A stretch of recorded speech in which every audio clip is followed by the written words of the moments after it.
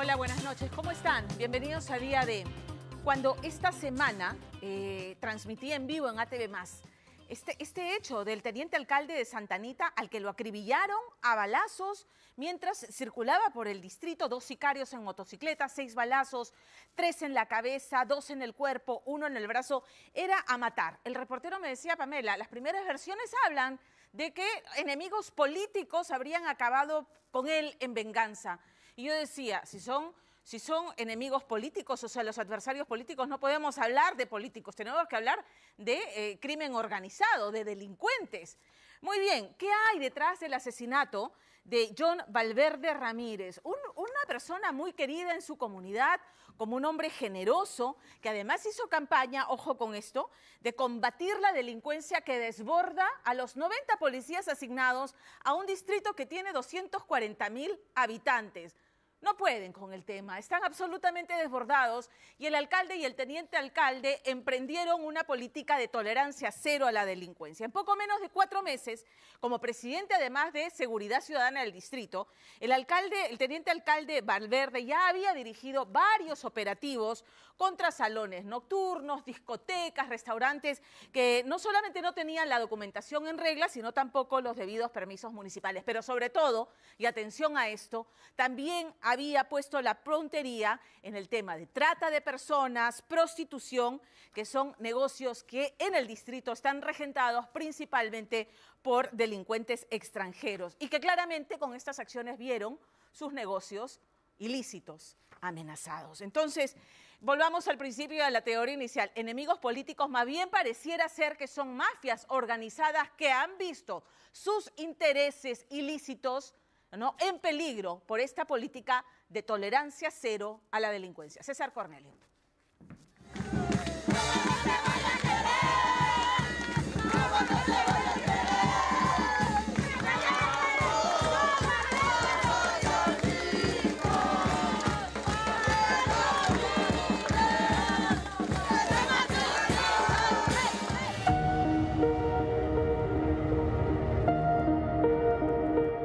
Familia del teniente alcalde John Valverde Ramírez en Santanita siente un dolor abrumador. La ausencia de John es como un vacío inmenso, un agujero negro en sus corazones que nunca podrá ser llenado.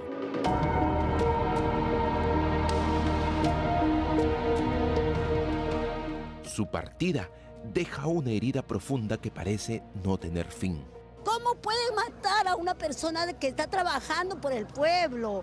No podemos permitir, señor. ¡Queremos justicia! ¡Queremos justicia! ¡Queremos justicia!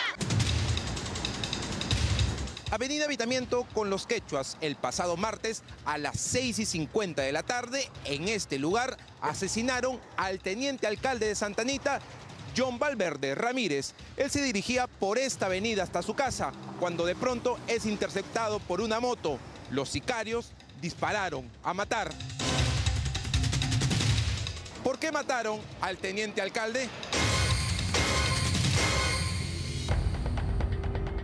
Martes 18 de abril, 6 y 45 de la tarde, la cámara de seguridad capta los últimos minutos de vida de John Valverde. A paso ligero, con mucha prisa y con el celular en la mano, sube a su auto, sale de la avenida Los Ruiseñores en Santanita y llega hasta la vía Evitamiento. Son las 6 con 51 minutos.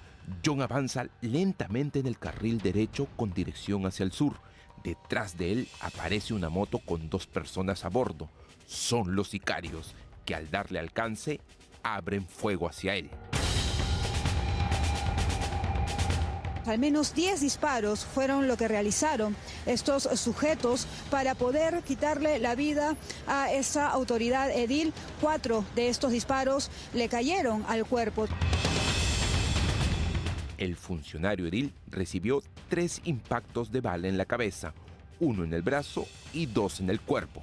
De acuerdo a pericias, habrían seis cartuchos que habrían sido percutidos por esta mente criminal había un estudio, un diagrama en la mente, que el objetivo final era acabar con la víctima. El pedido no era atemorizar para decirle cumple con un pago. ¡Ahí, ahí, la cumpleañera! ¡La cumpleañera!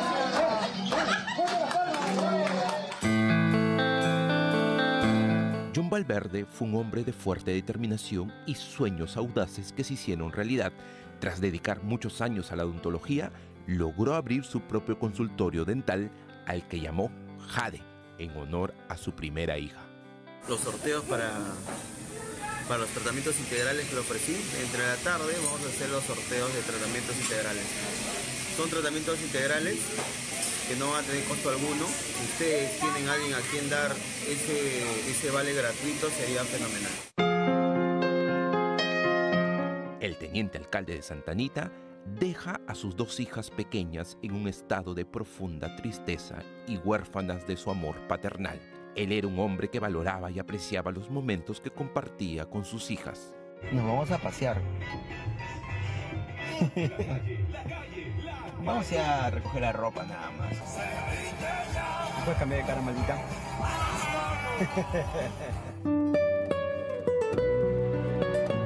Reconociendo los problemas que su distrito enfrentaba, John decidió hacer una diferencia en su comunidad a través de la política. Él nos enseñaba a nosotros levantarnos a las 5 de la mañana, subir a los cerros con mis compañeros a entregar pancito. Canasta el día de Navidad, fuimos la base que regaló muchas más canastas con él. Bailaba con nosotros, hacía TikTok. Prácticamente el Papá Noel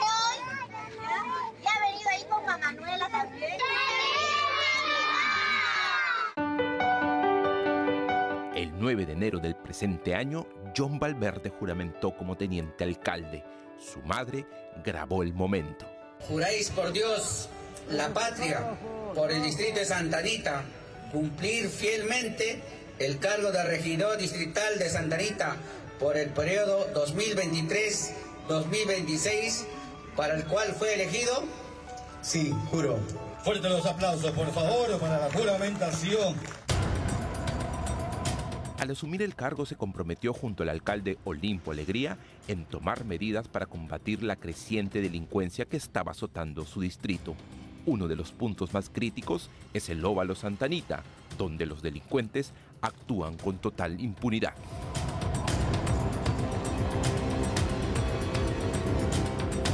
En ese lugar se está siendo dominado por extranjeros. Entonces vamos a hacer la presencia policial y vamos a hacer la identificación de personas para poder lograr los objetivos trazados. La situación en el distrito de Santa Anita es crítica, ya que ha sido invadida por bandas criminales y la inseguridad ciudadana se ha vuelto rampante. Los casos de asesinato y robo son reportados con demasiada frecuencia.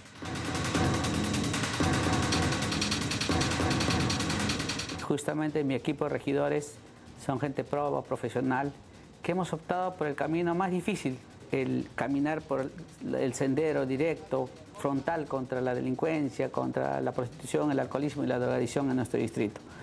Y efectivamente, él era el presidente de la Comisión de Seguridad Ciudadana en el distrito y estaba proponiendo muchas ordenanzas municipales que están en, en marcha y que no vamos a paralizar, a pesar de que él ya no está, vamos a continuar con esas ordenanzas y vamos a sacarlo adelante para imponer la ley en el orden en nuestro distrito. La tarea para restaurar la ley y el orden en Santanita parece ser un sueño imposible, ya que la cantidad de efectivos policiales que designa el Ministerio del Interior en el distrito es insuficiente para afrontar tal desafío. Esperemos que como consecuencia de este hecho nuestro señor ministro del Interior y nuestros este, altos mandos policiales designen más policías, porque en realidad solamente tenemos una comisaría con 90 policías. Es para una población de 240 mil pobladores, electores. Entonces imagínense pues cuántos policías por persona nos toca. Durante este año, John Valverde se convirtió en la segunda autoridad en ser asesinada por sicarios. A principios de año, la regidora del distrito de Paramonga, Flor Isabel Sandoval Villaverde, fue asesinada por dos sicarios.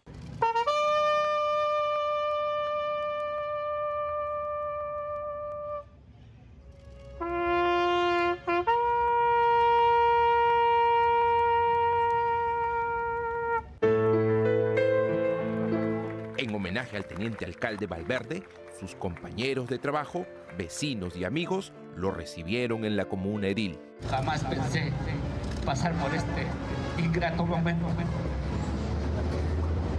Creo que la campaña ha sido ardua y dura. Conocí al amigo, al hermano, John Valverde, un hombre cabal. Amigo John, descansa, que Dios te tenga en tus brazos. John fue llevado hasta su colegio. Los profesores, compañeros y alumnos de la escuela Abraham Valdelomar se reunieron en un coro de dolor y tristeza. El alma mater, que fue testigo de su infancia y adolescencia, se vio conmocionada por el trágico destino. Teniente alcalde de Santa Anita, la Asociación de Exalumnos y Colegio Abraham Valdelomar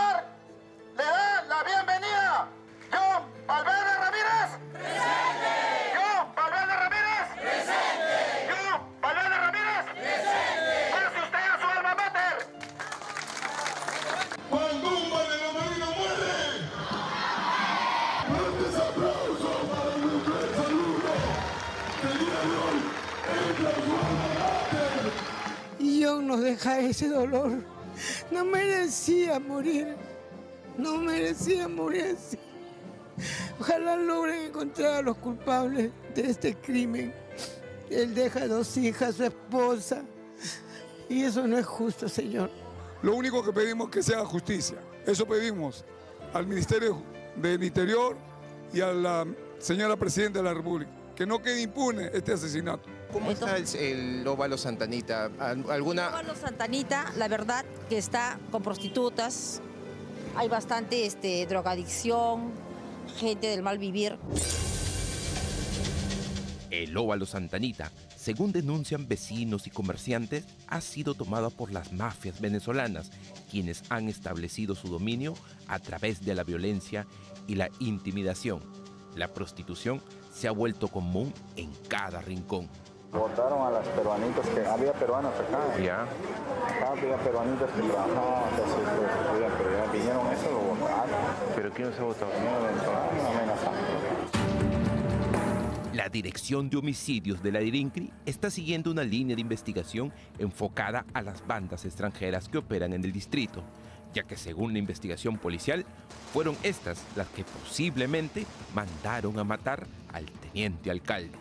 Constantemente se viene sacando de circulación a estos cabecillas del tren de Aragua, de los gallegos, que se han posesionado en algunos lugares aislados, como son estos lugares de Santa Anita, donde lamentablemente también algunos de algunos peruanos ¿no? le alquilan algunos establecimientos, hoteles y algunos otros lugares. Hace unos días, los alcaldes de Chorrillo y Rímac denunciaron haber sido objetos de amenazas de muerte.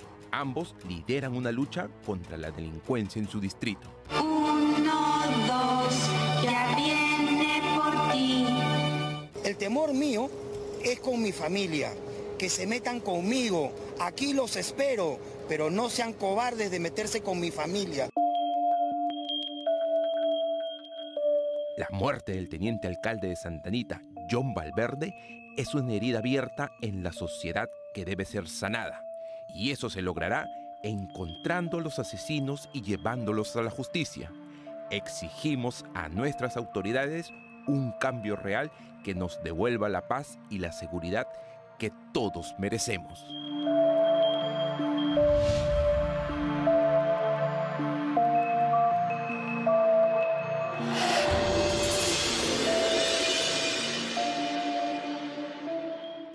Esos días en que, en que veíamos lo que ocurría en México y en Colombia, donde el sicariato era el pan de cada día tan ajeno a nuestra realidad.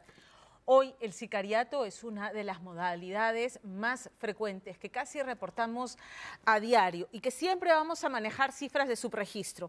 Eh, según las cifras oficiales, el sicariato ha aumentado un 50% en el 2023 eh, y, y- hasta la fecha son 44 las denuncias por sicariato en el Perú, que han superado las 23 que se realizaron en el mismo periodo en el, eh, año pasado. Este, la verdad es que las personas que vienen siendo extorsionadas, amenazadas, ¿verdad? No denuncian y no denuncian por temor. y, eh, y- los casos que, que se reportan y que se investigan de todas maneras son un, subregistro. Tenemos además eh, eh, el problema de- de cómo eh, detectar el, tra- el trabajo de inteligencia que tiene que hacer la policía para detectar a las organizaciones criminales que están detrás de estos gatilleros, porque esta gente eh, las, contratan, o sea, no es que estén así, no, levanto el teléfono y me consigo un sicario, hay organizaciones criminales que contratan a los gatilleros que tienen un tarifario, ¿no? Cobrarían entre mil y cinco mil soles por crimen. El propio coronel Rebolledo, que participa en el reportaje de César Cornelio, también ha sido amenazado de muerte. Eh, y, los distritos con mayor incidencia de sicariato, según los reportes de la policía, son San Juan del Urigancho, San Martín de Porres, Caraballo y Puente Piedra. Creo que no hay distrito que se libre de esto, que ya dejó de ser un fenómeno, sino que ha pasado a ser parte del catálogo de crímenes violentos que acorralan a la ciudad. Así que a la ciudad y al país. Eh, ¿Cuál es el plan concreto del Ministerio del Interior en este tema de sicariato? Y en otro que vamos a ver más adelante, ojo, con Richard Apolo, y que no deben dejar de ver, esta modalidad de extorsión con el préstamo que no pediste y que te encajan a través de códigos y inves- investigando a toda tu red de contactos a través de Facebook. Es pavoroso lo que hace también esta red de extorsión a cambio de un préstamo que jamás pediste. ¿Cómo lo hacen? Se lo vamos a contar más adelante en día de. Vamos ahora con el caso de Lorena Ormeño sobre el supuesto suicidio de José Luis Grosso Benítez. A ver, él tendría que haber sido un suicida singular, digámoslo de este modo, uno con, con vocación de clavadista profesional, porque de otro modo, ¿cómo explicamos que el día que habría decidido él quitarse la vida, eh, pa- para haberlo hecho por la distancia a la que cayó, pues tendría que haber corrido y se- haberse lanzado desde el techo de- de- de su vivienda, del edificio donde vivía, porque él no cayó al pie del edificio, en la cochera, sino metro y medio más allá, en la calle. Súper extraño. Entonces, mientras que la prima de hermana de José Luis, apoyada además en la opinión de un perito de parte, asegura que se trata de un homicidio, para la madre de José Luis, para María Benítez, no hay duda de que su hijo se suicidó.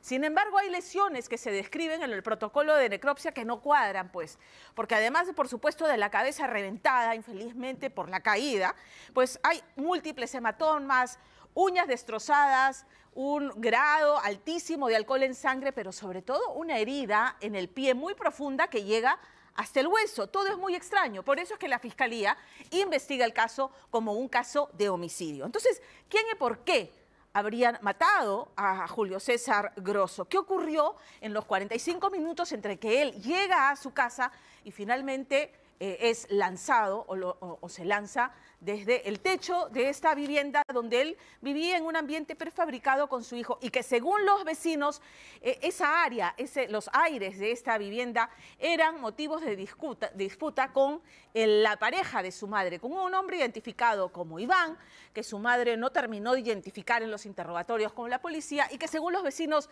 permanentemente había una relación de fricción y de discusión. ¿De qué se trata? ¿Qué pasó? ¿Qué hay detrás en este caso? Lorena Ormeño. Es la madrugada del 29 de diciembre de 2022, cuando José Luis Grosso Benítez es grabado en el distrito de Los Olivos, regresando a su casa con su cena. Parece relajado al cruzarse con sus inquilinos. 45 minutos después, su cuerpo sin vida yacía en el frontis de su vivienda.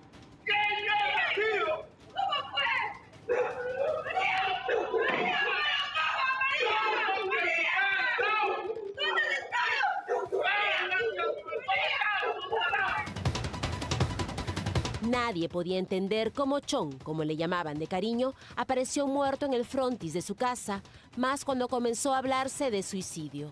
Él no se quiso quitar la vida. Acá pasó algo. Yo solo quiero saber la verdad. ¿Qué pasó ese día? Y las dudas se volvieron sospechas cuando las cámaras de seguridad revelaron algo extraño. Chon cayó del techo del tercer piso, pero su cuerpo no impactó en la cochera interna, sino en plena calle, cerca de la pista. Suicidio u homicidio. Para que el cuerpo caiga así, pues ha tenido que recibir un impulso ajeno, un impulso por mano ajena. ¿Qué pasó esa madrugada en Los Olivos? ¡Presente! ¡Presente! Dos días después de la muerte, sus amigos transmitían en vivo cómo llevaban en hombros el ataúd de José Luis y algo llamó la atención. El reclamo era a uno de los presentes en la casa la madrugada en la que Chong murió. Era la nueva pareja de su madre, un hombre solo conocido como Iván, a quien en el entierro asistentes señalaban por haber tenido conflictos con el fallecido, supuestamente por pretender apropiarse de los aires de la casa donde Chon tenía un departamento prefabricado donde vivía con su hijo de 11 años. José Luis Grosso Benítez, de 41 años, era técnico en reparación de aire acondicionado, constructor de casas, pero sobre todo, dicen, un hombre de familia. Amaba reunirse con sus primos hermanos, con quienes creció en la casa de su abuelo en Los Olivos. Con el tiempo, la mayoría migró a España. Su prima hermana, Rosa, se mudó a un departamento cercano y él se quedó en la vivienda familiar con su madre María, quien alquilaba las habitaciones. De allí salió con su hijo en la víspera de Navidad para la chocolatada que organizó con sus amigos del club Alianza Lima. Feliz Navidad y un próspero año nuevo para todos. La última vez que yo hablo con él fue para Navidad. Me saludó, me dijo que nos íbamos a ver, habló con mis hermanas. Él amaba demasiado a su hijo, demasiado amaba a ese niño para quererlo dejar solo. La madrugada del 29 de diciembre, Rosa recibió la fatídica llamada. La noticia había llegado a España y su hermana la despertó para que vaya al lugar. Y lo veo aún a mi primo tirado en el piso, pues, ¿no? Ahí es cuando yo me percato del hueco que tiene en el pie, en el lado izquierdo. Y se me hacía algo demasiado extraño para mí, la verdad. Yo solo quiero saber la verdad. ¿Qué pasó ese día? ¿Sabes lo que a mí me causa mucha suspicacia? Es que una de las inquilinas ese día me comenta, cuando yo estaba pidiendo explicaciones de qué pasó, que escuchó que John discutía con alguien, pero yo no sabía si era con alguien en persona o era a través del celular. La chica indica que antes de salir, eh, escucha que mi primo dice, no, si quieres mátame, mátame. ¿Con quién discutía José Luis?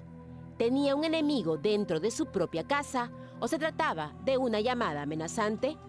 ¿Cómo se hizo la herida en el pie? Las preguntas carcomían a Rosa, que decidió reconstruir las últimas horas de su primo y con las imágenes de las cámaras armó un rompecabezas inquietante. El 28 de diciembre, José Luis salió con un amigo a tomar unas cervezas y volvió a su casa donde continuaron la reunión. Su hijo estaba en la casa del frente en una pijamada. Por la noche los amigos se van y Chon va a comprar su comida y vuelve a las 00 horas con 7 minutos del 29 de diciembre. La chica que tú vas a ver salir en este momento es la inquilina que vive en la sala. Mientras que ella estaba lavando sus platos, ya ella escucha que mi primo pelea con alguien. No se sabía si era por teléfono o es que él estaba acompañado en ese momento, ¿no? Ella me indica que escucha que mi primo dice, mátame si es que me quieres matar, mátame. La inquilina y su pareja salen a las 00 horas y 51 minutos. En la casa quedan José Luis, una inquilina, su madre María y su pareja Iván. Un minuto más tarde, Chon cae de cabeza en el pavimento. Minutos después, un amigo se cruza con el cadáver y avisa a la familia. María Benítez sale, reconoce a su hijo y llama a su pareja. Luego sale una inquilina. Mi primo cuando cae, si tú te percatas, no tiene movimiento alguno y tampoco hace ningún tipo de, bulla, ¿no? o sea, por más que tú te quieras suicidar, este, yo pienso que tú vas a dar un grito de, de último aliento, no sé, ¿no? Es por eso que a mí me extraño mucho de que su cuerpo cae inerte, sin movimiento alguno. Pero hay algo aún más extraño. Es algo similar a la casa de mi abuela. Acá está la puerta. La construcción de la casa de mi abuela es todo recto, hasta el cuarto piso, tal cual. Ya, entonces si mi primo hubiese caído, hubiese caído acá. O tal vez en lo que es el tejado, hubiese caído, no sé, medio cuerpo hacia el lado de fuera y medio cuerpo para acá, o acá, en esa distancia de acá, ¿no? Porque si tú te pones a ver, no hay lógica que él haya volado prácticamente. Me voy a poner a que él se quiso suicidar. ¿Cómo tomó el impulso para hacerlo? Si con ese día en el pie ya no lo podía hacer. ¿Y al caer no se pudo hacer esa herida? No, algo ilógico, no. ¿Por qué? Porque yo estoy viendo los videos, como te digo, y jamás choca su cuerpo ni con el tacho de la basura, ni con la berma, ni tampoco con la puerta, ni tampoco llega a, llegar al tejado o alambres del cable, de internet, nada. Y es que la necropsia confirma la causa de la muerte, lesiones en la cabeza producto del impacto. Halló también una herida en el pie izquierdo que llegaba hasta el hueso. Tenía además un alto nivel de alcohol en sangre. El día que yo reconozco el cuerpo en la morgue, me di cuenta de que mi primo tenía muy aparte del hueco en el pie, tenía hematomas, tenía las uñas totalmente rotas, ¿no? Entonces, él no se quiso quitar la vida. Acá pasó algo. Esta es la última fotografía de José Luis tomada horas antes de su muerte. Sus uñas estaban en perfecto estado y en las imágenes caminaba sin problemas. ¿Cómo se hirió el pie en esos 45 minutos? ¿Se lanzó o hubo una pelea y fue lanzado? La respuesta debía estar en el techo de donde Chon cayó.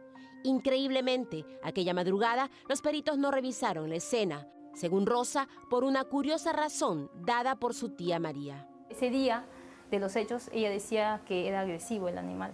Y después, días después, me dice que normal me lo puede vender, que no ataca. Entonces, ¿de qué estamos hablando?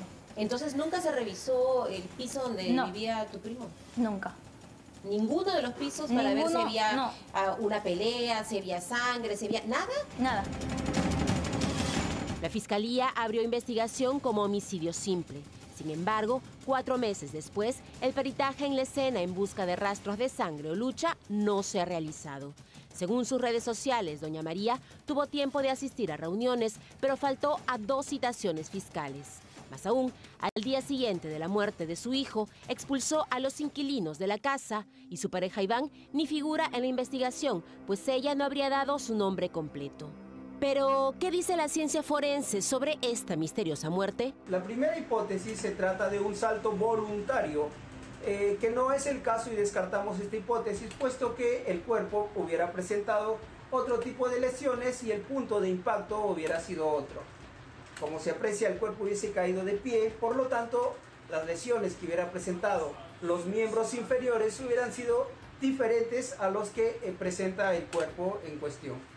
La segunda hipótesis es también un salto voluntario que también descartamos porque la naturaleza de la caída, de la precipitación, indica que hubieran ido las manos hacia adelante y esto al impactar eh, hubiera generado que las manos tuvieran otro tipo de lesiones que, que no, son, no, no se aprecian en el cuerpo.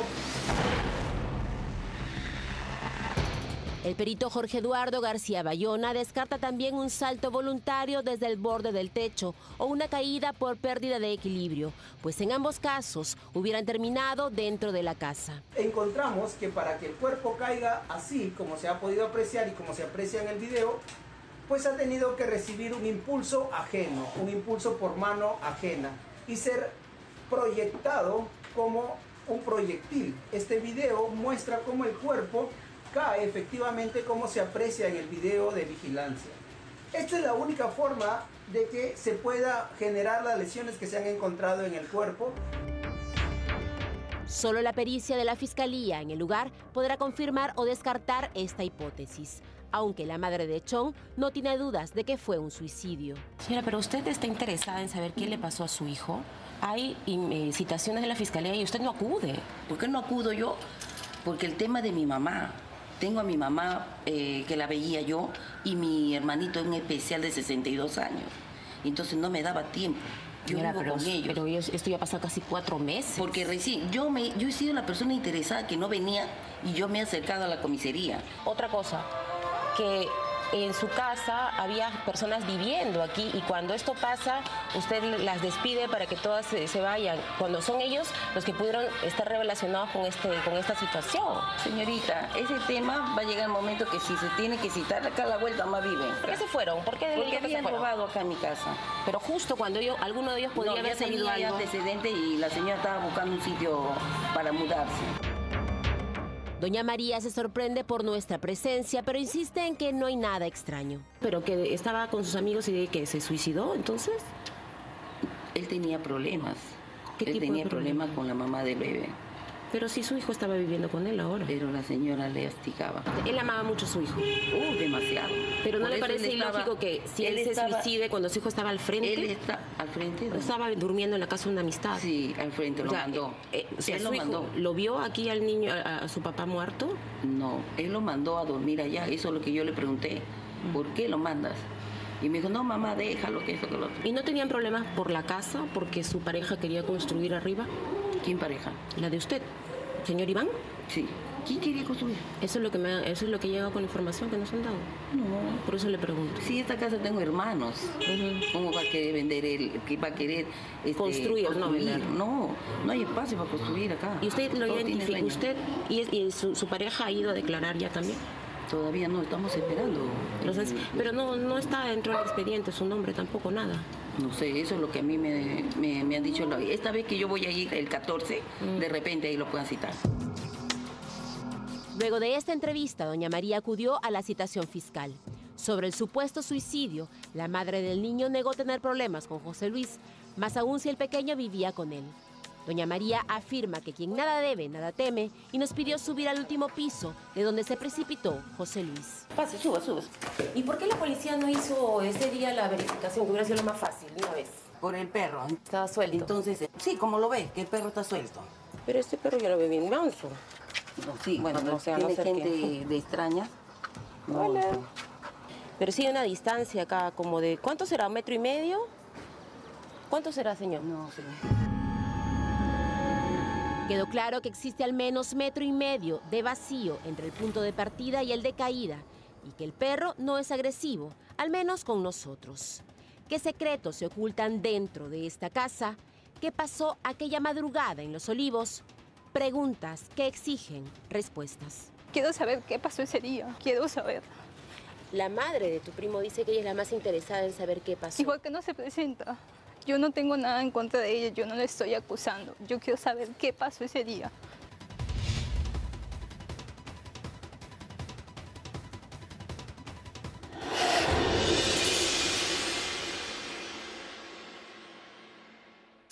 Ya vamos a cambiar radicalmente de tema y vamos a hablar de los grandes, cuando los grandes saben que es el momento de retirarse porque están en lo mejor de su carrera y entregaron todo, todo, absolutamente todo, pero es momento de retirarse dignamente.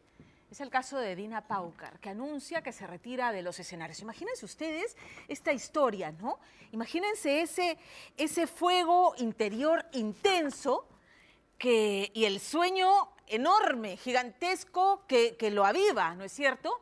Para hacer que una niña de 10 años huya de su casa a Lima para cumplir ese sueño de convertirse en cantante.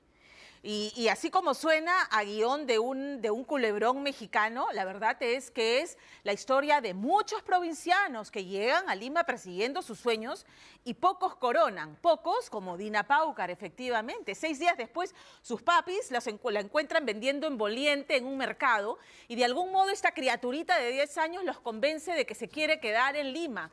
Y, ya el resto, ¿para qué les cuento? Porque ya la conocen, es una historia, se hizo miniserie, una miniserie que además rompió récords de sintonía. A los 15 años Dina ya cantaba con un grupo de música tropical andina, pero ella lo que soñaba era un día pararse en los escenarios y ser ella la estrella que entona los guainos que tanto quería. Y, y nada, pues ahí está Qué lindos son tus ojos, que es una canción que apenas tiene tres estrofas, solamente tres. Es un breve poema de amor, pero que en, la voz de Dina Paucar, ¿no? esa voz tan dulce que tiene y esas formas delicadas de moverse en el escenario, la lanzaron al estrellato, significó el salto cuántico en una carrera que la llevó a vender en su mejor momento más discos que Gianmarco y que Pedro Suárez Vértiz. Dina, la diosa hermosa del amor, ha cantado en escenarios internacionales, acompañada de orquestas sinfónicas como en México y aquí en Perú. Y la han aplaudido y la han abocionado de pie. Esos son los logros del esfuerzo, del tesón, del trabajo indesmayable de Dina Paucar, que nunca dejó de trabajar, que habiendo superado el cáncer y luego el COVID, siguió trabajando y, y- que alrededor de su carrera, entre bambalinas, creció y formó y creció su familia. Y ahora son sus tres hijos los que han decidido tomar la posta, tomar la posta de este, de este inmenso legado que deja Dina Paucar. Eh, y ella se despide, como les digo, de los escenarios. Y esta noche a Lorena Ormeño la deja ir tras bambalinas y le cuenta todos los detalles de ese gran concierto de despedida, acompañada de sus hijos, en la producción, en el escenario, presenta a su sucesora también en el Gran Teatro Nacional. Esta es una nota hermosa, imperdible, eh, reconociendo todo el talento de la gran Dina Paucar. Lorena Ormeño.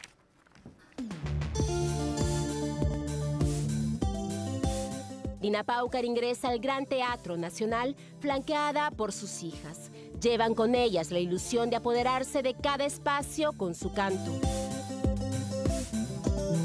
Es el fin de una promesa cumplida, el momento de colgar las polleras. No me imagino la última presentación de Dina. Voy a llorar un montonón porque ya no voy a poder subir al escenario, seguramente. eh, el público me ha dado 33 años de su amor, de su cariño. Esta es la historia de 33 años sobre el escenario, de anhelos cumplidos y rotos, de la lucha hasta alcanzar un sueño y el inicio de uno nuevo. Hola amigos, soy Dina Paucar y estoy aquí con mi Quillay, mi hijita linda. El legado continúa a través de mis tesoros. Gracias por tenerte, madre querida. Orgullosa de ser tu hija.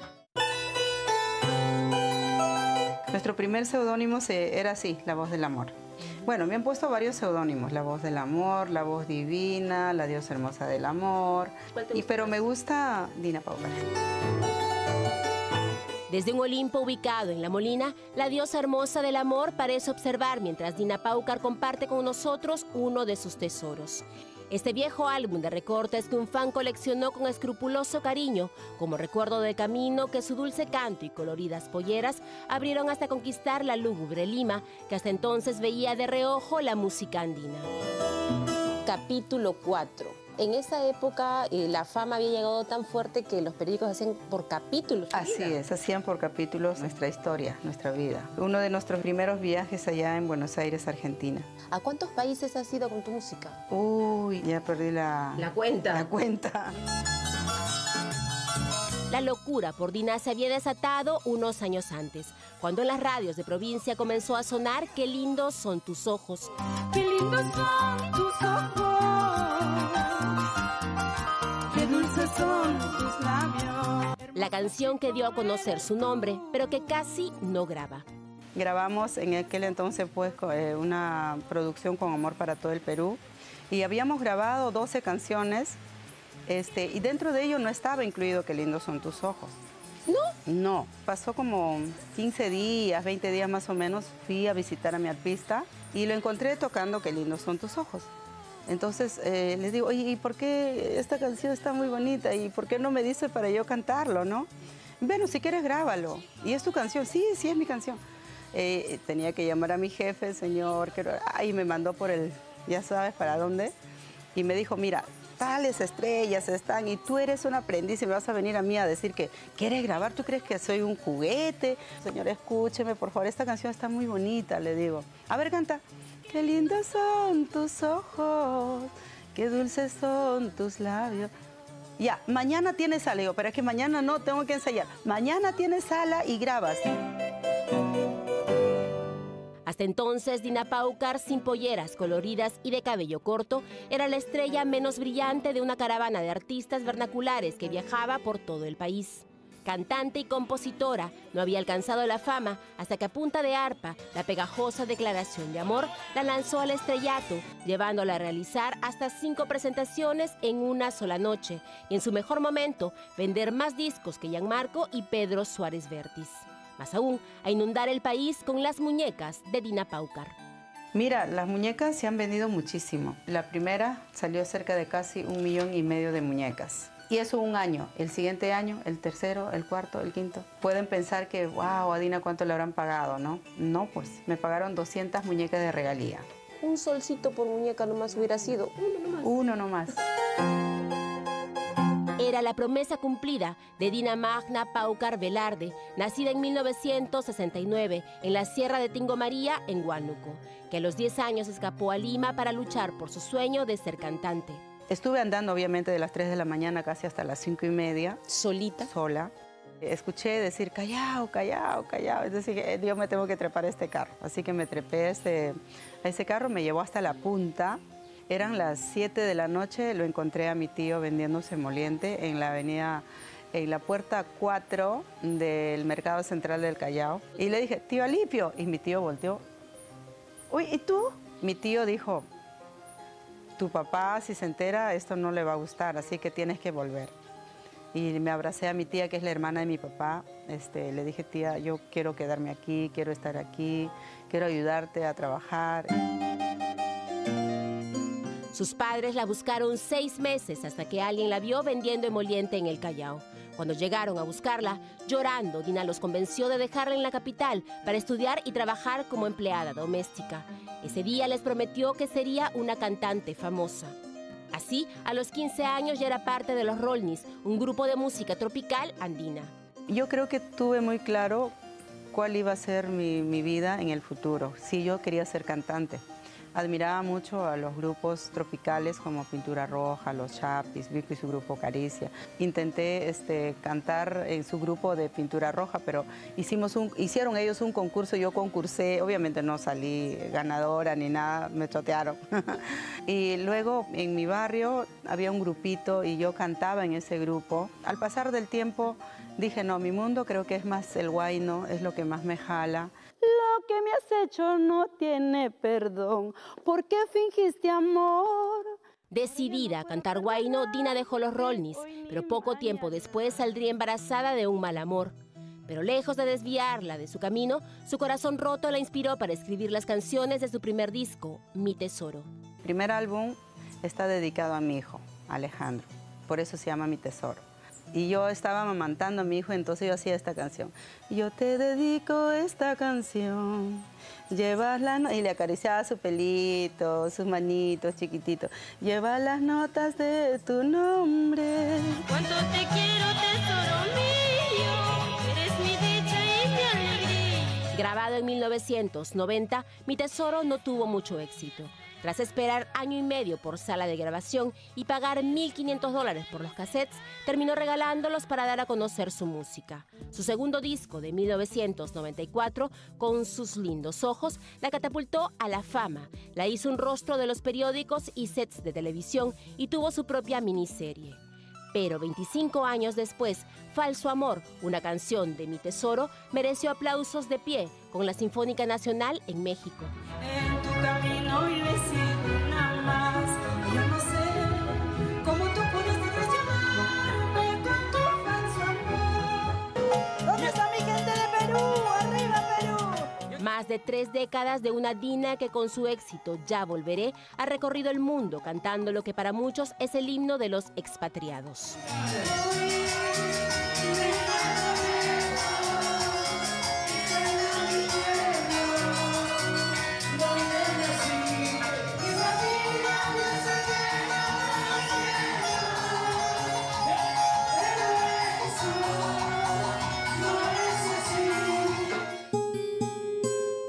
Una carrera impecable que se detuvo en 2017 cuando le detectaron cáncer de mamas. Y toqué algo, un bulto grande, y se me vino el mundo ya así, toda la noche lloré y estuve 6 de la mañana en la clínica. Me dijo, Dina, el cáncer es así, es de un chihuahua a un, a un galgo.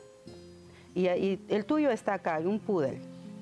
Y has podido detectarlo a tiempo, vas a estar muy bien.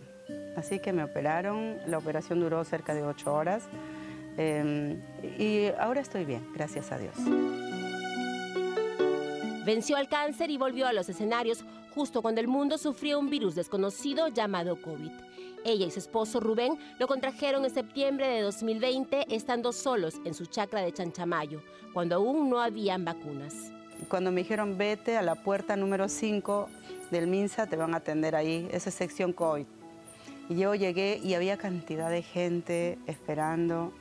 Yo te juro que no podía ni ya pararme, me faltaba aire, eh, me, me quería desmayar y todo, y no me atendieron. Me fui a la chacra y mi amiga, cuando estaba llorando, mi amiga me dijo, me dijo una palabra bien fuerte, me dijo, esta enfermedad justamente le gusta eso, que estés llorando, que estés deprimida, que estés bajoneada, quítate la mascarilla, abraza un árbol, respira, tú estás en tu chakra, no hay nadie ahí.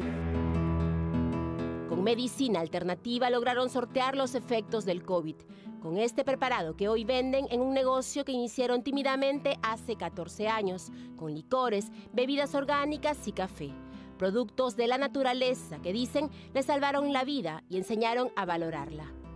Muchos amigos míos se han ido, muchos. Yo los recuerdo con mucha nostalgia y de repente no ha habido un momento como para decirnos te quiero, oye, que te vaya bien, nada.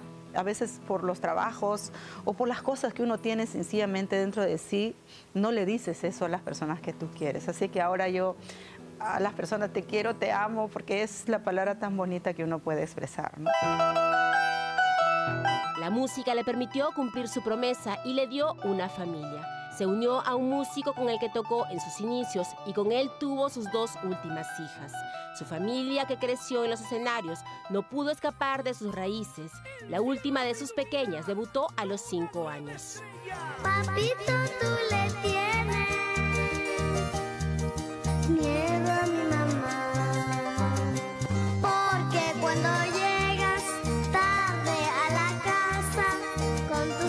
pintado, mi mamá te pega. El tiempo ha pasado, los hijos han crecido y son hoy el legado de la diosa hermosa del amor. Presento a Cori, lo llamo Cori porque es oro, mi Alejandro, mi tesoro. Eh, presento a Quillay, mi Jacqueline Lorena, mi princesa. Presento a la princesa Guaira y aquí está Dina Paucar. Cori es el director musical, Guaira corista y co-conductora de Dina. Quillay, su segunda voz. Son el legado musical manejado con disciplina por la escurridiza Tatiana, que tras bambalinas dirige la empresa junto a su padre. Sabía ¿De verdad que eras metalero? Sí, sí, sí, era. tocaba. Lo sigue siendo hasta Claro, ahora. no. La música es tan amplia que uno no tiene por qué escoger uno u otro. Pero en realidad el folclore tiene, tiene ese algo que, no sé, que te conecta con la gente, es la música del pueblo para mí. Hemos ido integrándonos al elenco eh, gradualmente. Tenemos nociones de más o menos cómo es estar frente a un gran público, un mar de gente que ama mucho a mi mamá, porque ella tiene una costumbre de los aniversarios, por ejemplo, llamarnos a, a darles unas palabras al público, entonces eh, ya nos hemos familiarizado un poco con eso. Cuando me vaya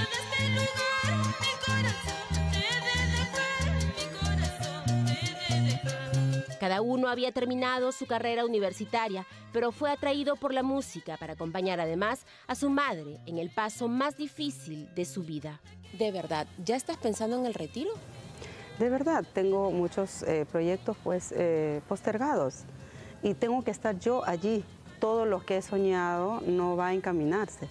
Es que mis hijos ya me están exigiendo también como que mamá ya... Muy cansado también es muy arriesgado. De hecho ya han tenido accidentes, han tenido siete, ocho accidentes en los que han sido fuertes, o sea, no es un choque, un simple choque y ya, o sea, ella ha tenido accidentes en los que se han dado vueltas de campana. Tres vueltas todo. de campana.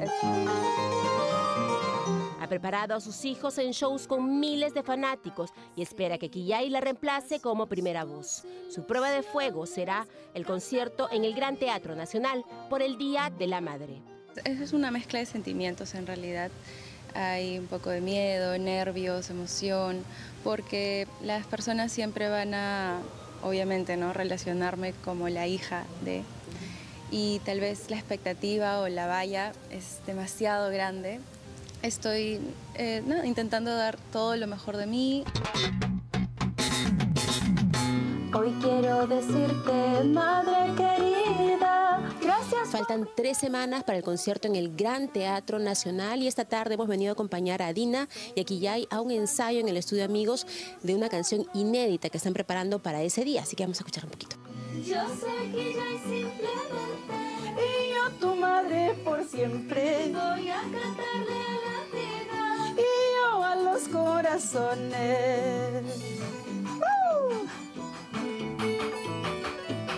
Es la primera canción de Jacqueline Lorena Sánchez Paucar, Quillay, que aunque orgullosa de su madre, desistió de usar su apellido, deseosa de trazar su propio camino. Todo el mundo me dice, pero ¿para qué le has puesto Quillay? Tiene que ser eh, Quillay, Jackie Paucar, eh, que no sé qué, explota tu nombre. Porque mira, yo le digo, pero es que yo no puedo imponer algo que mis hijos quieran hacer. Lo que busco sería trazar mi propio camino, hacer mis propias canciones y todo eso. Estoy en proceso de descubrir todavía eso, esa esencia que sé que está en algún lado de mí. Este canto es un honor De pronto ambas son conscientes de que esta canción marca el debut de Quillay, pero también la despedida de Dina. Esto ha sido 33 años de mi vida dedicados a la música, entonces, pero estoy feliz porque pues mis hijos van a tomar la posta. El público me ha dado 33 años de su amor, de su cariño. No me imagino la última presentación de Dina. Voy a llorar un montonón. Es difícil, pero bueno. No, solo, solo que esté feliz eh, mamá y, y que pueda retirarse tranquila, ¿no? Eso es lo que más queremos. Han preparado sus vestuarios para estrenarlos en el majestuoso escenario del Gran Teatro Nacional. Harán su primer gran concierto como familia, acompañados por 30 músicos y artistas invitados, cantando también otro de sus himnos, Madre.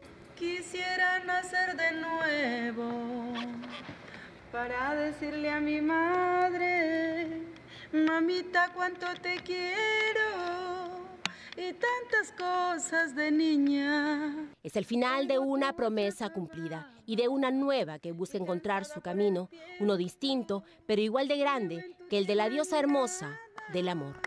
La luz de mis esperanzas, todo el tiempo esperando, todas las noches pensando, ¿dónde estará su camino? Tenemos que hacer una pausa y vamos a regresar. No se muevan de día de, porque lo que está pasando en el Callao puede replicarse también en otros distritos de Lima. Lo que llama la atención es que el Callao siempre ha sido muy territorial respecto, increíble, pero respecto al crimen organizado y las mafias. Pero están operando con absoluta impunidad bandas extranjeras en una nueva modalidad de extorsión. Simulan ser eh, un banco formal que te ofrece un préstamo.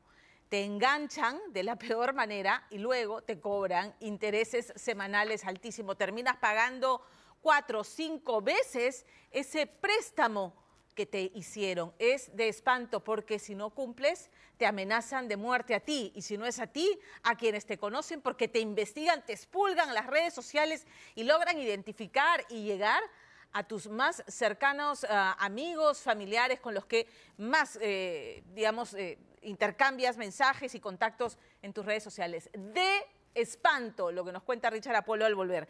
Y también, por supuesto, no estamos ajenos a lo que ha ocurrido hoy día. Llegó Alejandro Toledo y yo me sigo preguntando, ¿cómo es que con todas las alarmas que estaban encendidas cuando Alejandro Toledo era candidato, o nos estamos olvidando que ya siendo candidato, se demostró que todo lo de su supuesto secuestro eh, era falso y que lo que había tenido fue dos días de farra impenitente en, en dos hostales de Lima con unas chicas. Y aún así lo terminamos eligiendo presidente, con el que empezó esta gran desfalco estatal que ha sido la carretera interoceánica. Ya llegó, ya está en la Diroes, al lado de Castillo y Fujimori. Claro que vamos a hablar de Alejandro Toledo aquí en Día de... Así que no se muevan, regresamos. Esta noche en Día de extorsión mortal por un préstamo que jamás solicitaron ni recibieron. ¿Qué pasó con tu pago el día de hoy? Yo jamás he pedido ningún préstamo a ninguna financiera colombiana. Jamás. Toledo, de vuelta a casa y directo a la cárcel. Buenas tardes, magistrada. Alejandro Toledo Manrique. El epitafio de un océano de mentiras, firmas falsas, corrupción y excesos. El señor estaba desnudo con, cinco, con tres chicas ahí al costado. ¿Confesará sus delitos el mal llamado Cholo Sano y Sagrado para redimir su condena final? En el Callao, como nos dice Richard Apolo en su nota, el Callao siempre ha sido, respecto al crimen organizado y su accionar delictivo, muy, muy territorial. dominado siempre por bandas locales. Pero lo que está pasando con esta nueva modalidad de extorsión es que hay bandas extranjeras ejecutando con absoluta impunidad una nueva modalidad de extorsión que consiste en clavarte literalmente un préstamo que jamás pediste. Simulan páginas de bancos de reconocida reputación. Te contactan, te ofrecen un préstamo, como en el caso de una de las víctimas, que le ofrecen un, préstamo de 3 mil soles que nunca pidió y que sin embargo, bueno, si te lo ofrece eh, el, banco eh, eh, con el que tú trabajas, ¿no? En, en- enhorabuena, necesitas plata, vas esta señora se dio cuenta de que era una estafa cuando ya en un agente de su banco había retirado el dinero y cuando se dio cuenta porque había escuchado historias similares y quiso devolverlo, no señora, ¿a quién se lo devolvemos si solamente hay un código? Se tuvo que llevar la plata y a una vez que ya tenía la plata empezaron las llamadas. Ahora vas a tener que pagar semanalmente más de 700 soles por nueve semanas. Por nueve semanas pagó estos intereses exorbitantes y no le quedaba otra porque sabía que estaba en manos de una mafia. El segundo caso es de terror, porque en este caso sí ni siquiera recibió el préstamo, jamás vio la plata. Pero los extorsionadores, cansados de llamarlo insistentemente a él para cobrarle, que los ignoraba y colgaban, pues eh, su, Facebook, detectaron a sus contactos más cercanos con los que se, se- contactaba frecuentemente y terminan llamándolo uno a uno, a decirle tú eres el aval y entonces como él no paga, pagas tú y si no, te cae. Hasta que terminaron llamando a su propia esposa, amenazarla de muerte.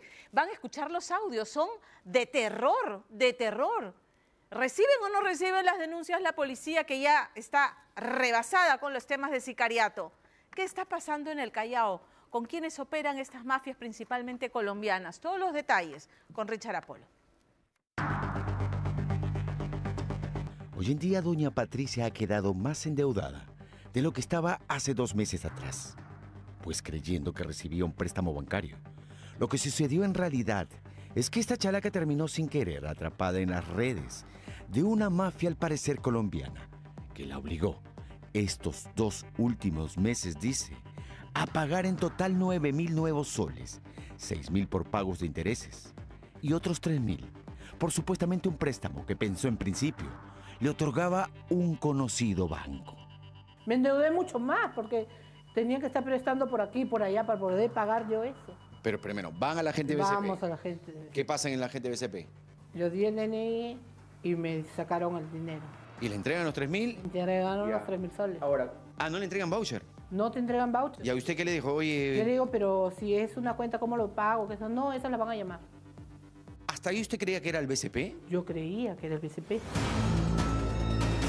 Con los 3 mil soles en la mano y sin saber aún, doña Patricia acababa de caer en las garras de una peligrosa mafia con al parecer tentáculos internacionales que con engaños obligaría a personas a tomar préstamos jamás solicitados con tasas de interés altísimas. Una modalidad que peligrosamente está creciendo entre la población chalaca. Se nos ha reportado en diferentes oportunidades casos como estos, incidencias que a la larga nos, nos, eh, alertan un poco sobre este tipo de situaciones que no se han dado en oportunidades anteriores, incluso con la aparición de los gota a gota en el país, no hemos escuchado algo similar al Callao. Por ser de alta peligrosidad es muy difícil de que delincuentes extranjeros quieran invadir territorio chalaco Y eso parece lo peligroso, es decir, delincuentes colombianos, extorsionando al parecer en calles chalacas, incluso a plena luz del día y a bordo de motocicletas, exigiendo no solo el pago por préstamos usureros, sino en otros casos, el pago de préstamos, escuche bien, jamás solicitados, como le sucedió y le sigue sucediendo a Giancarlo Flores, quien en las últimas semanas está junto a su esposa viviendo un verdadero tormento siendo víctimas de bandas que le exigen a través de mensajes de textos y audios amenazantes enviados a él y a su círculo cercano el pago de préstamos inexistentes. Finalmente se le llama los- a esta modalidad los, monta, los montadeudas. Los montadeudas. O sea, te, te inventan una deuda y es ahí a darle, a darle, a darle psicológicamente hasta que... Hasta que O sea, sale. que hasta quebrarte a ti, hasta que pagar algo que jamás has pedido. Claro, yo no he pagado nada. Hola, Giancarlo Flores, me comunico de la financiera Vida Luja. Soy Alexander Carrera. Cuéntame qué pasó con tu pago el día de hoy. Tu contrato se vence a las 11 de la mañana. Te envían otro mensaje. Sí. Masivo, igual. Un mensaje masivo, pero ya más amenazante, Ajá. donde me dicen evita atentados con tanto como la titular, como tu persona, se van a ver perjudicados con nosotros si no nos pagan. Bueno, mi miedo en realidad es que de verdad atenten contra mi vida porque ya me han mandado un mensaje donde dice no seas cómplice porque si no llega a pagar eh, me cobro con usted y le doy pum pum, donde le caiga hijo. Hace dos meses, cuenta doña Patricia, llegó hasta un conocido banco con la idea de sacar una tarjeta que le posibilite luego acceder a un crédito por 3 mil nuevos soles. Y es que le urgía el dinero. Días después, le llegó al celular un app que entonces creía ella pertenecía a un conocido banco, donde le decían que tenía supuestamente un crédito online preaprobado. Solo tenía que hacer clic y llenar los datos, lo cual hizo. Me vengo a mi casa y en el celular me sale un app del banco BCP. Ya, este. Sí, ese Ya. que ves acá, este, y me dicen de que tengo un préstamo prea- preaprobado. Aquí dice preaprobado. Correcto. Entonces yo entro a la página, Ya. ahí marqué, entré, y me dijeron de qué cantidad, que yo marcara y todo. Ajá. Y yo pedí en ese tiempo, lo marqué y me dieron 3 mil soles. Sin saber, doña Patricia acababa de hacer clic a una pesadilla. Había colocado como referencia el teléfono de su hermana, quien recibió días después una llamada diciendo que doña Patricia tenía que acercarse con su DNI a un agente BCP para retirar el supuesto préstamo de 3 mil nuevos soles. Durante la llamada, le habían dado un código con el cual podían el agente retirar el dinero. Cuando recibió dicho dinero, dice, sintió un escalofrío en el cuerpo. Y es que había caído en cuenta recién que no era un préstamo bancario lo que acababa de recibir. Yo le decía a mi hermana de que era raro, pues, que no me dieran el dinero y cómo lo iba a pagar. ¿A quién? ¿A quién? Y Ya. sobre todo que si era un préstamo, tenía que haber sido mensualidades, ¿no? O Claro. fin de mes. Todo, todo una, un, cronograma. Claro, pero no me dieron nada. Cuando le dijimos a la chica del cajero ¿Ya? para La gente reembolsarlo, a la gente, el agente dijeron que no tenía destinatario, que era por horas, que era cue- cuenta Un pago efectivo. como un así. pago efectivo. Usted ya sabía que eso no era ya del BCP. Ya, ya de ahí. Se preocupó, BCP, supongo claro, yo. ¿Qué pensaba ahí? Cuando ya me dijeron, yo dije, este es el préstamo que antes han hecho, porque por acá por mi barrio Ya. hay muchas personas que han entrado así y les han prestado. Y de ahí les han venido a cobrar. Entonces yo dije, uy, ya me tocó a mí. Exactamente una semana después, vendría la llamada telefónica por parte de ciudadanos colombianos, miembros de una presunta mafia de extorsionadores, que le planteaban a la hermana de doña Patricia que por cada semana transcurrida, ésta debía pagar en adelante 750 nuevos soles como intereses por los 3.000 nuevos soles recibidos, entre comillas, como préstamo. Uy, yo me toqué de nervio, pues, y estuve buscando plata por todos lados para pagar. Yo quería pagar los 3 mil soles Y que muera ahí la deuda. y que muera la deuda. Ya. Pero no, ellos te cobraban los intereses, intereses, intereses. Cuando yo quise ya, que le dije, ya no voy a pagar intereses, quiero pagar la deuda, me dijeron, son 5.500 soles, 3.000 del efectivo y 2.500 soles de intereses. ¿Y ¿Cómo hacía ese pago, señora? Cuando la llamaron le decía... Me daban números, números y en el agente que vaya y deposite. Dos meses duró la pesadilla de doña Patricia, quien dentro de todo tuvo, dice, suerte, pues los montadeudas, al parecer colombianos, si bien le insistían telefónicamente para que tome otro préstamo, esta se negó y no insistieron más. Y hay muchos casos que yo he escuchado, por eso que yo... De, gente cercana. Sí, de Ya. gente, amistades que conozco. La misma modalidad. Sí, no hay otros. Otros. Otros casos de otras modalidades. ¿Cómo cuáles? Que, por ejemplo, piden, marcan o entran a un app y a veces no les prestan. ¿Ya? pero ya están endeudados, supuestamente. O sea, nunca recibieron la plata Nunca como usted. recibieron el dinero como yo, ¿Ya? pero ya están endeudados. Y ese parece ser el caso de Giancarlo Flores, quien comenzó hace pocas semanas a recibir múltiples llamadas de pseudofinancieras colombianas que le exigían pagar préstamos que jamás había solicitado, ni mucho menos recibido. Incluso se atrevían a enviarle comprobantes para que haga cuanto antes el pago de su inexistente deuda. Al principio no le presté atención, después ya cuando empecé a revisar eran números eh, que parecían que eran del extranjero. Eh, los dejos eran del extranjero. Ah, los dejos eran del extranjero. Y más, y más se presentaban sobre la, la- ¿Qué te decían? la financiera colombiana tal. Pero me dices tú que pasaron a otro nivel. Al audio, sí, a un audio. Empezaron a mandar audios de cobranza, ¿no? Mira acá, pues, vamos a escucharlo. Tu contrato se vence a las 11 de la mañana. Te hemos estado contactando a través de correos electrónicos, llamadas y mensajes y no hemos tenido ningún tipo de respuesta por parte tuya.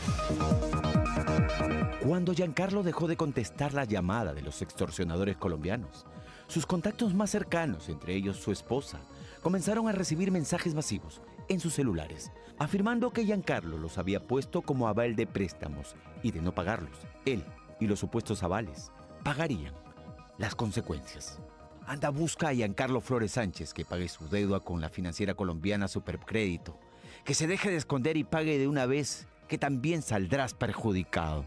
Creía que tú los habías puesto de Claro, avales, ¿verdad? Claro, sí. Es más, Ya. por ahí un amigo me- de frente, ¿no? Con, como dicen, salió con la pata en alto. Y sí, me tú has puesto de referencia. Le digo, están llamando a 40, 50 personas. Yo voy a poner 40, 50 personas de referencia. Le digo. Y lo peor no es de una, sino ya hasta ahorita ya van cuatro o cinco financieras y cada una va creciendo el monto. Entonces se va agrandando y, ¿qué, y de qué? O sea, si nadie recogió dinero, nadie les ha tocado la puerta, nadie ha llamado, oye, préstame dinero. No, eso no pasó. La esposa de Giancarlo cuenta que al cambiar su esposo de chip, ella fue quien comenzó a recibir la llamada de varias de estas, entre comillas, pseudofinancieras colombianas, que reclamaban pagos por préstamos nunca otorgados. Se escucha como si fuera un call center, ¿ok? Es una persona que es la que me llama y se escucha paralelamente a otros agentes. Eh, en los otros agentes sí puedes escuchar que las llamadas ya son más fuertes. ¿Así? Sí, ¿Qué decían? gritos. Por ejemplo, escuché en la primera llamada a una chica que de fondo se escuchaba, ya, apúrate, págame, ya van a pasar 15 minutos que va a expirar ese, ese código y no veo el pago registrado. Apúrate porque si no te vamos a cagar. Lo que más indigna a la pareja es que con las pruebas en mano acudieron a la policía y fiscalía. Sin embargo, afirman, le respondieron que aquello no calificaba como extorsión, sino hasta cuando los delincuentes les enviaran fotos de la pareja siendo arreglados por los extorsionadores. Esperamos que con esto y con esta nota pues ya nos atiendan porque nos vemos expuestos. Nos vemos expuestos a no poder salir a la calle porque yo no sé qué motorizado me va a seguir. O sea, yo no voy a tener la libertad de irme a trabajar con tranquilidad porque voy a tener que estar asustada. Mis hijos sobre todo. Hay que tomar en cuenta que cualquier delincuente extranjero no tiene una facilidad de ingresar a un barrio picante. Podríamos deducir en alguna oportunidad de repente una cierta vinculación entre delincuentes extranjeros y locales. O sea, con gente, banda chalaca, ¿me hablas? Sí, posiblemente. Preocupante situación teniendo en cuenta que estamos al parecer frente a delincuentes todo a punta colombianos operando sin restricciones y con desparpajo en zonas picantes del primer puerto. Algo antes impensado.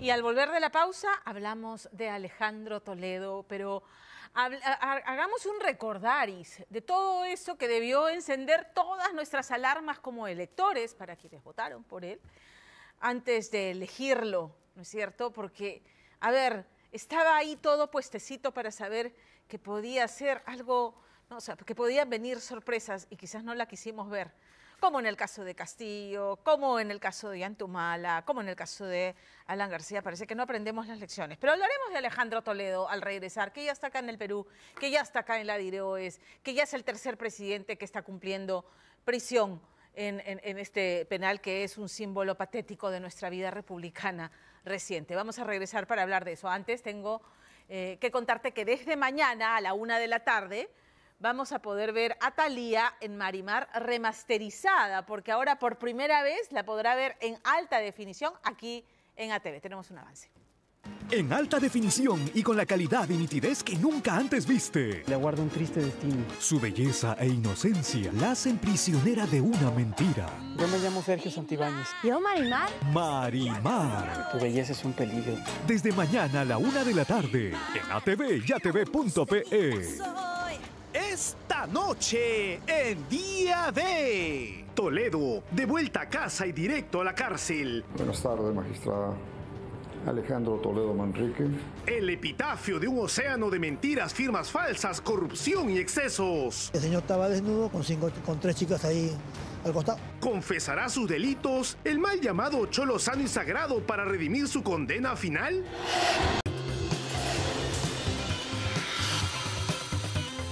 Hablemos de Alejandro Toledo, que como Alberto Fujimori en su momento Pedro Castillo recientemente simbolizaron los tres puntos de quiebre en nuestra vida política. El primero como el salvador de la democracia, ¿no es cierto?, la marcha de los cuatro suyos, la recuperación de la democracia después de la caída fujimontesinista. Y luego el último, Pedro Castillo, como la esperanza de la izquierda frente a la cleptocracia de las derechas. Ahora los tres compartirán instalaciones en la Diroes, que ha venido a convertirse en un símbolo triste, en un, emblema patético de nuestra vapuleada vida republicana. Eh, Sin embargo, la extradición de Alejandro Toledo eh, nos demuestra que esto no va a quedar impune y alrededor del mundo nos miran en medio de toda nuestra debacle política como un ejemplo. Allí los presidentes y expresidentes corruptos son procesados, son encarcelados y pagarán por ello. ¿Correcto? Entonces, a ver, si ahora sí empezamos a, valorar mejor todas las alarmas que nos alertaban que estábamos eh, al elegirlos cometiendo o, tomando una decisión errada, una decisión equivocada. Por ejemplo, a ver, hablemos de, todas las mentiras de Alejandro Toledo, ¿no? Porque cuando era candidato salió a la luz este, este supuesto secuestro y él dijo, lo que recuerdo son las metralletas, los encapuchados, la- las camionetas de lunas polarizadas. Esa fue su versión, me secuestraron, pobrecito yo. La reconstrucción de los hechos demostraron que este hombre se había ido de juerga durante dos días, una juerga impenitente y que hizo famoso al Hostal Melody. Eso ya se sabía durante la campaña. Además, su historia contada por él sonaba pues fascinante, ejemplar. El niño lustrabotas, huérfano de una madre que murió en el terremoto de Ancash, exalumno de economía y profesor de, eh, de- de- de- en, en en dos universidades prestigiosas, Stanford y Harvard. Bueno, la mamá no murió en el terremoto y él lo cuenta, eh, bien fue sobreviviente del terremoto y lo cuenta en su libro. Stanford aclaró y dijo, perdón, el señor estudió economía sin otras especialidades. Y exalumnos de Harvard dijeron, no, el señor nunca ha enseñado aquí, es investigador. Y ah, como muchos otros académicos pagan por el derecho de ser investigador en Harvard. Mentira tras mentira. Entonces, a ver, también nos mintió sobre la paternidad de Saraí Toledo, le mintió a todo el país descaradamente. La presión de las circunstancias y la medición, mediación de la Iglesia Católica lo obligó a dar un mensaje a la nación reconociendo a Saraí como su hija a regañadientes. Entonces, mintió también sistemáticamente sobre el origen del dinero para sus inversiones inmobiliarias, ¿no? Nos endilgó una y otra vez eh, diferentes versiones sobre el tema. Y, eh, y así, y aún así fue elegido presidente y fue durante su gobierno donde inició el gran desfalco para la construcción de la interoceánica, que no olviden que atraviesa tres gobiernos, porque empezó con Toledo, siguió con Humala, siguió con García. No es el único, pero ahí está. Y Toledo hoy ya está en la DIROES. Lorena Ormeño.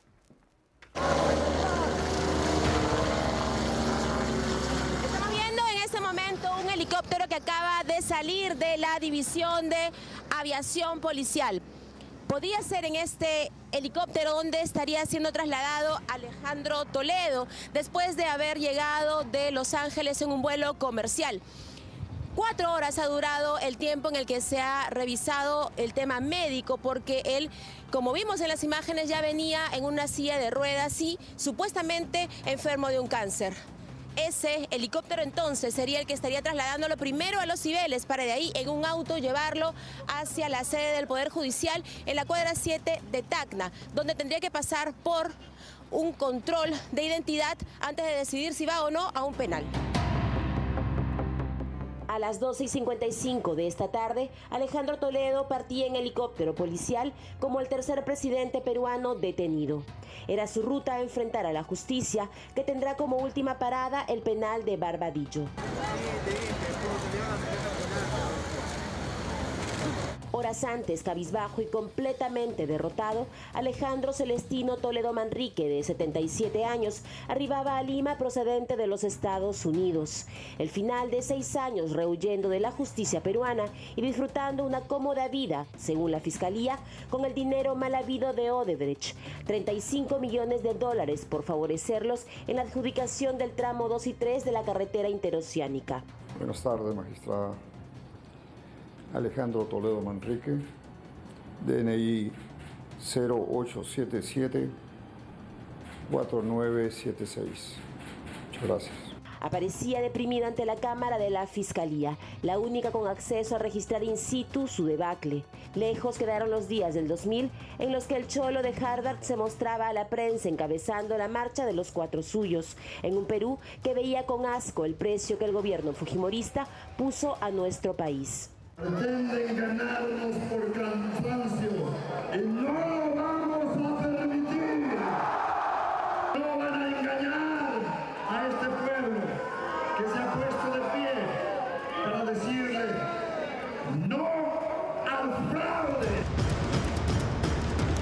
El Cholo Toledo, casado con una gringa de cabellos de fuego, juraba que desterraría a los políticos corruptos. Y en este momento le hace recordar, ahí está el instrumento que él trabajó mucho tiempo, porque Alejandro Toledo salió de las garras crueles de la pobreza. Pero en este momento Toledo, le va a lustrar el zapato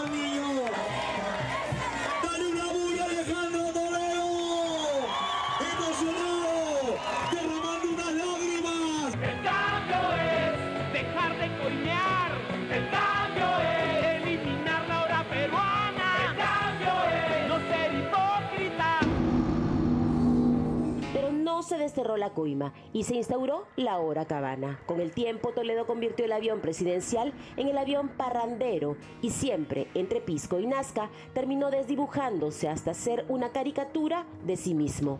Quiero decirles a ustedes que me llevaron al gobierno, que marcharon conmigo en los cuatro suyos para acabar con la dictadura. El fiscal Hamilton ya decretó. Me voy a ir a la cárcel. Pero quiero preguntarles, ¿en qué penal dejan entrar whisky, carajo?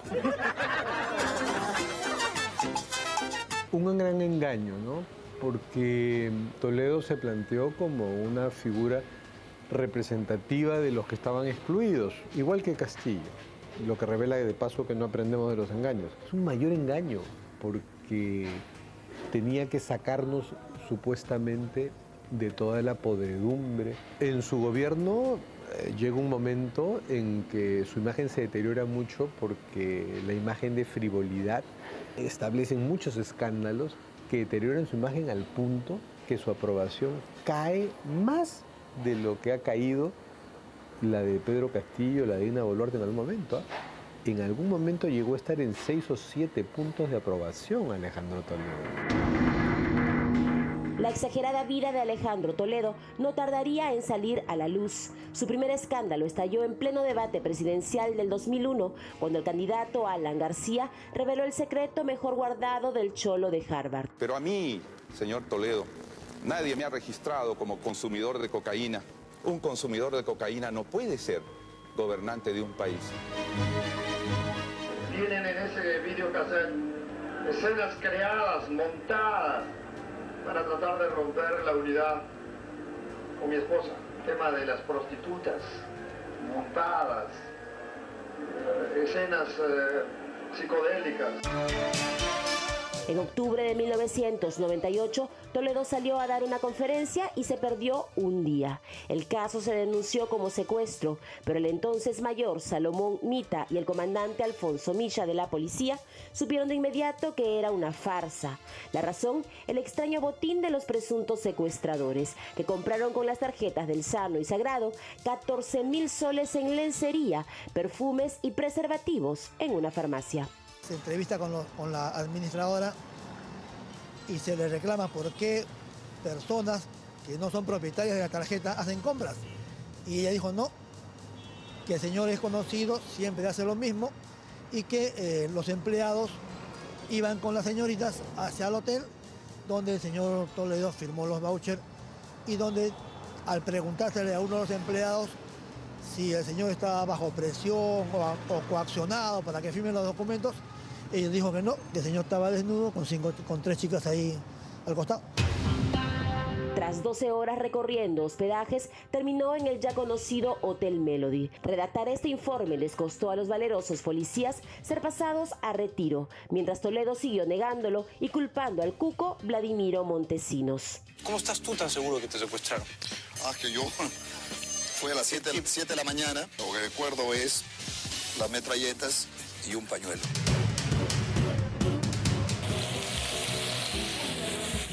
Bien dicen que para mentir y comer pescado hay que tener cuidado. Toledo decía ser quien cocinaba, pues según él su esposa quemaba hasta el agua. Sin embargo, no estuvo exento de tragar varias espinas, pues su boca parecía una máquina de mentir. Toledo publicó una autobiografía temprana que se llamaba Las cartas sobre la mesa. Y allí contaba, entre otras cosas, la muerte de su madre, que había sido una enfermedad incurable, presumo que cáncer, en 1970. Y sin embargo, en una entrevista en el, en el 2000, que se cumplían 30 años del, del terremoto, que fue el mayor desastre natural en, en la historia contemporánea del Perú, eh, dijo que su madre había muerto en ese terremoto. Quiero aprovechar esta oportunidad para decir a las madres del Perú que yo me debo a. Yo no tengo mi madre, que la perdí. En 1970 el terremoto. Le pareció que quedaba mejor el, el cuento así. Esto lo pongo como un ejemplo de, de cómo en su caso la mentira hasta podía estar justificada por razones frívolas. La promesa política se fue volviendo pesadilla y en eso contribuyó la lengua mordaz de Elian Carp, que hoy también tiene un pie en la cárcel. para que los blanquitos de Miraflores puedan tener libertad de prensa. Los apristas son unos perritos rabiosos ahí que lo único que saben hacer es ladrar. El matrimonio Toledo Carp, disuelto y vuelto a unir en la campaña presidencial, enfrentó junto el primer escándalo de su gobierno, la existencia de una hija no reconocida, producto de un romance fugaz, cuya historia propaló Laura Bozo. Yo amo los niños. Yo solo tengo una hija. Y dije que se, habían, se había cometido en el fervor de la campaña un abuso extraordinario de someter a una criatura a, a jugar en medio de la campaña desde Vladimiro Montesinos con Laura Bozo. No fueron tres veces como Pedro a Jesús, sino decenas las que Toledo negó a Saraí, hasta en el extranjero, usando otra vez la vieja confiable, el fujimontesinismo. que yo inventé una hija, el cholo sagrado, como decía la señora Carp, ¿no? Esta maldita que le inventó una hija. ¿Qué le inventó una hija? ¿Acaso yo me acosté con Lucrecia Orozco para que saliera embarazada? Todavía no tengo esto por ahí, o sea que no. Pero la luna de miel con los peruanos había terminado. Toledo ya era el inquilino de Palacio que gastó 5 millones de soles en remodelarlo con un billar, sauna y un bar, donde se consumieron 1.700 botellas de whisky etiqueta azul. Abrumado por el descrédito, Toledo reconoció a Saraí como su hija. He ganado una hija inteligente y hermosa. Decidí reconocer voluntaria y libremente la paternidad de Saraí. A partir de ahora, voy a velar por su futuro. Pero otra vez el pecado de la carne lo llevó a la hoguera por un presunto amorío con Lady Bardales, su guapa escolta presidencial, que terminó detenida por supuestamente enriquecerse con ese romance clandestino. La joven permaneció prófuga seis meses y fue hallada en Máncora, veraneando con otra pareja. Estuvo presa dos, pero luego fue absuelta. Mi gobierno fue frívolo, pero no corrupto. No, podrán decir que fue frívolo. Yo no creo que cantar amor, amor o una paloma sobre una rama es frivolidad. Durante el gobierno de Alejandro Toledo no hay ni un escándalo de corrupción que sea mediático. Lo que hay son escándalos vinculados a su frivolidad. Otros gobiernos estuvieron inmersos en escándalos de corrupción. La oposición que tuvo Alejandro Toledo fue feroz. Yo decía inclusive que si algún día Alejandro Toledo camina sobre el mar, la primera plana será Toledo no sabe nadar. Juan Cheput, ministro de Trabajo en la era Toledo, parece ser el único amigo que le queda. Insiste en que fue un gobierno exitoso pese a los escándalos. Pero Toledo tenía además manchas de origen. El cholo de Harvard fue desconocido por los egresados de la universidad y se denunció que su partido fue inscrito con firmas falsas. ¿Y ahí cómo sería el apoyo hacia mí? ¿En qué consistiría? Pero ¿y cuánto me perderías en la primera me, me planteaste el hermano del entonces presidente fue grabado supuestamente ofreciendo incentivos para que los testigos desaparezcan. Lo cierto es que Carmen Burga se hizo humo, aunque reapareció denunciando que fue sacada del país por allegados al gobierno. Ni sano ni sagrado, el autonombrado Pachacútec terminó su gobierno con 6% de popularidad. Así se fue a descansar a su casa de 5 millones de dólares en el campus de la Universidad de Stanford. ¿Qué le diría usted a la gente que se quedó con la, en la memoria con la imagen, por ejemplo, de César Almeida, de las denuncias? ¿Qué les dirían? Yo le diría que los periodistas tienen que cambiar hubo algunos problemas, sí, ¿no? Que se señalaron y que estuvo bien que se señalaran. Yo no soy juez. La historia va a ser mucho más generosa sobre nuestro gobierno que la prensa del día a día. Era 2011 y Toledo abría su intimidad buscando volver a la presidencia. No alcanzó ni el 2%, pues se iban conociendo las millonarias coimas que habría recibido de la constructora Odebrecht. 35 millones de dólares que habría pitufeado con su amigo Maiman usando el nombre de su suegra, Eva Fernenbuch. Pero una cosa es equivocarse y otra cosa es ser corrupto. Y señores, que quede claro que Alejandro Toledo no es corrupto. En 2017, él y su esposa abandonaron el Perú, aunque noticias de su exagerada vida seguían llegando, mientras la fiscalía avanzaba con su cuadernillo de extradición. Detenido, luego libre, hizo de todo para evitar su triste destino, una prisión en Perú.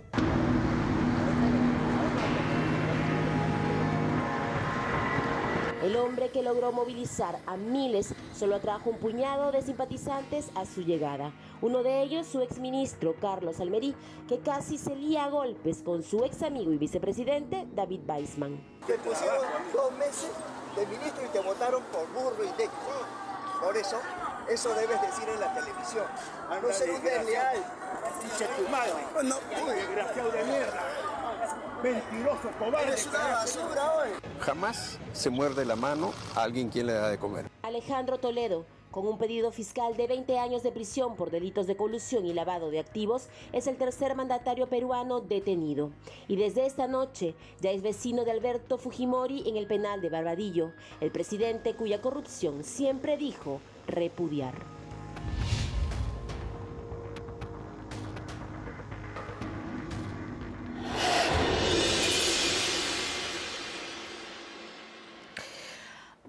A ver, eh, tenemos que ser conscientes de que al final del día a estos personajes los colocamos nosotros en el poder. Eh, infelizmente tenemos que salir a escoger de lo que los partidos políticos, y podemos hablar de partidos políticos, nos ofrecen.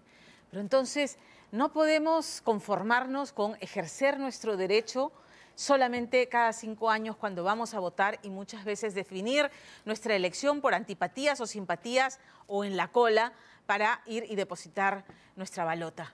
Eh, tenemos que involucrarnos en política porque estamos viendo que cada vez nuestra representación es peor y que no logramos despercudirnos de esto que venimos padeciendo las últimas tres décadas de vida democrática republicana tenemos a expresidentes que están presos o procesados por corrupción.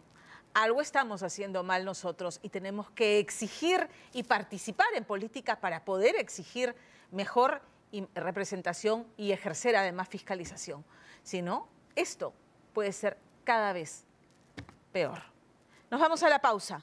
Y al regresar, los cambios en el gabinete Otárola se produjeron hoy al mediodía, mientras que Alejandro Toledo pasaba control de identidad. En Palacio de Gobierno juramentaban cuatro nuevos ministros. Regresamos con los detalles.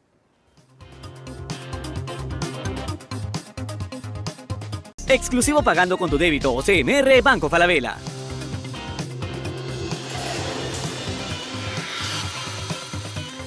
mientras que seguíamos casi que minuto a minuto todas las incidencias en torno a la llegada del extraditado Alejandro Toledo, que ya está, como hemos dicho, compartiendo celdas en la Diroes con Alberto Fujimori y Pedro Castillo. A la una y media de la tarde, eh, la presidenta Dina Boluarte tomó juramento a cinco nuevos ministros, a cinco meses del inicio de su gobierno, perdón, a, cuatro nuevos ministros. Eh, se, se ha nombrado en Justicia y Derechos Humanos saliente José Tello y ha entrado Daniel Maurate. Eh, en la cartera de Justicia y Derechos Humanos y ya empezaron a salir las llamadas que el flamante ministro de Justicia ha intercambiado con el prófugo de la justicia César Inostroza, eh, ¿no es cierto? Prófugo de la justicia en el caso de los cuellos blancos del puerto. Eso va a empezar a quedar que hablar ya lo ha hecho inmediatamente después de su designación. También en educación eh, salió el, señor Óscar Becerra y ha ingresado Mañet Márquez Ramírez.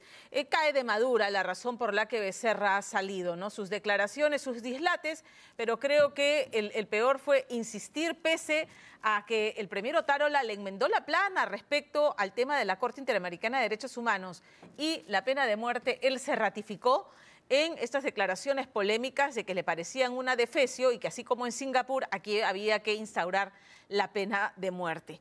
Antonio Varela Bojorques ha entrado a trabajo y Juan Carlos Matius Salazar a Comercio Exterior y Turismo. En este caso podemos decir que es alguien que conoce el sector, que ha estado en, el mismo y que, y que sería pues uno, uno de los cambios que, que genera expectativa. Un recambio en el gabinete, que era necesario, pero que no toca los, los sectores, eh, digamos, en donde se reclamaba más bien que, ocurra esto. Sí en el caso de, educación, por supuesto, pero no se toca interior, no se toca defensa, que son los sectores más polémicos por esta, este tema en el que la presidenta está eh, investigada, que son las muertes de por lo menos 60 peruanos en los enfrentamientos y la represión Ah, violenta de la policía, de, las fuerzas del orden durante las manifestaciones y movilizaciones. Así que vamos a ver, vamos a ver cómo hay la, reacción a estos cambios eh, en el gabinete de Alberto Tarola, que permanece al frente del mismo. Toda la información, por supuesto, en nuestros servicios informativos mañana desde muy temprano en ATV Noticias Edición Matinal. Muy bien, con esto nos... Día D llega gracias a Head and Shoulders